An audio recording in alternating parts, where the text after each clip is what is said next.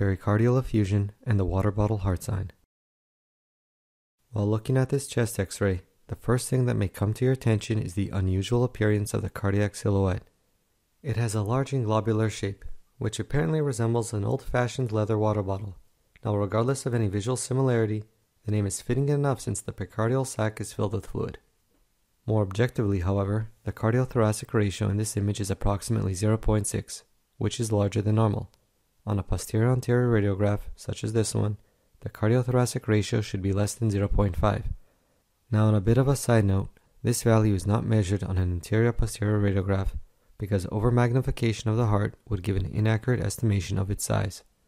And finally, inspection of the airway reveals that the lower trachea is not quite vertical and that the carina appears to be displaced to the right. This appearance can occur if the x ray was performed while the patient was rotated to the right.